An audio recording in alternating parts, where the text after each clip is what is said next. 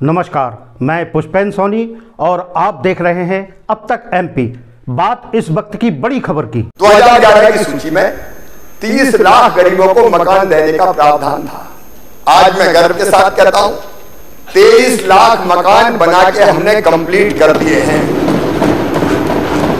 23 लाख मकान कंप्लीट और बाकी जिन पर तेज़ी से काम हो रहा है, इस साल के अंत तक 30 लाख मकान बना के कंप्लीट कर दिए जाएँगे।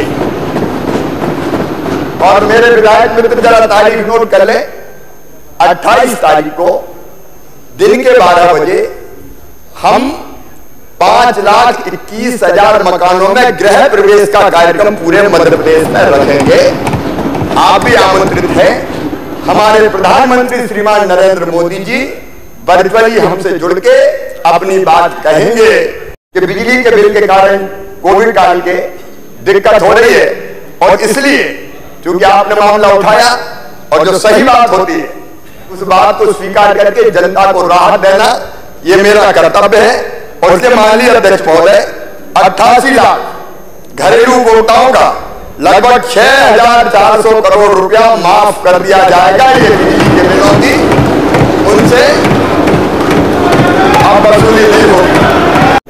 अड़तालीस लाख उपभोक्ताओं ने समाधान योजना के अंतर्गत एक सौ नवासी करोड़ रुपया जमा किया था।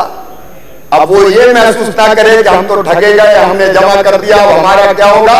मैं आज ये फैसला भी कर रहा हूँ कि उनके जितने पैसे उन्होंने जमा किए, वो आगे बिजली के बिलों में समायोजित कर लिए जाएँगे।